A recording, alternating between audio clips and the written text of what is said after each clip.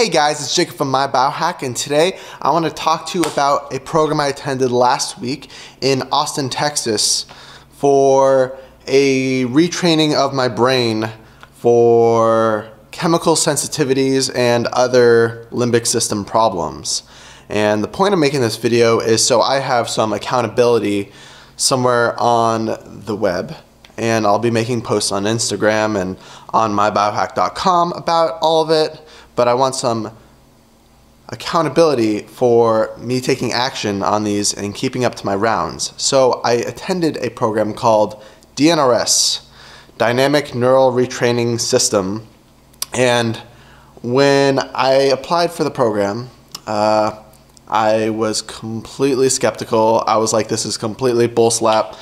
This cannot have anything to do. This is just some lady I, I didn't like her videos on YouTube. I didn't like any of that stuff, and I was just like, I can't believe I'm going to this, but I'll just go to it with an open mind, like most things that we should.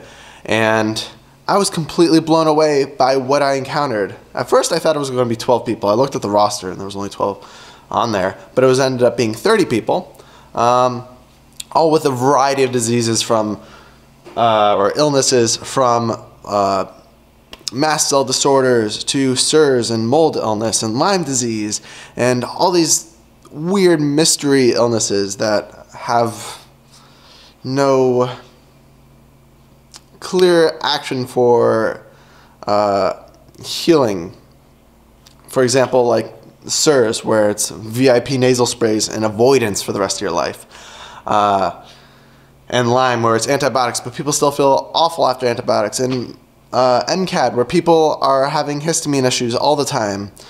So it was amazing to see people transform in just, it was a five day program, in just five days that they could turn from feeling like someone couldn't walk and had neuropathy all over their legs. And by day five, they were walking into the, into the seminar without a problem or without feeling any of the pain. Someone uh, she had lactose intolerance and gluten intolerance, and she was paleo for years. And when she was able to eat mozzarella pizza without any symptoms, I was like, whoa, that is crazy.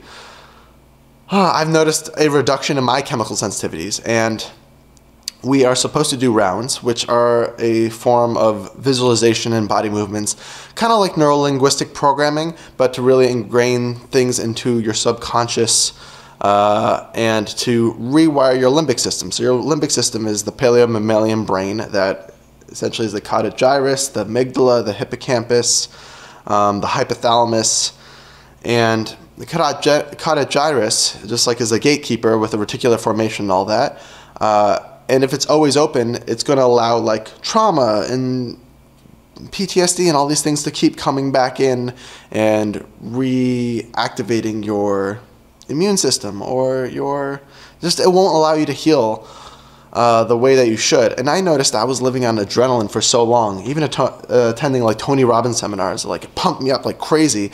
But I was just being more fed into adrenaline. And, and when I did this these rounds, I noticed like, holy moly, I could feel the things that trigger me, which we call pops. Um, and when they went away, like the adrenaline go down and just being more present, but like in a different kind of presence than like meditation and mindfulness and Eckhart Tolle kind of stuff, uh, which was pretty awesome. And in just a couple of days, I noticed like things that I had major sensitivities to with my nose, um, like Axe body spray, uh, and just smells like shampoo and conditioner. I was actually quite fond of after. I was sitting next to this girl and she had conditioner in her hair, and or maybe it was shampoo. And normally I just go like and try to like avoid it, but I was kind of like leaning in, like, hmm, that smells pretty good. I wonder what it is. Try to get a little bit closer. Uh, so it was pretty amazing, and I'm supposed to keep up these rounds uh, every day for at least an hour for at least six months, and keep going until you get through all your traumas.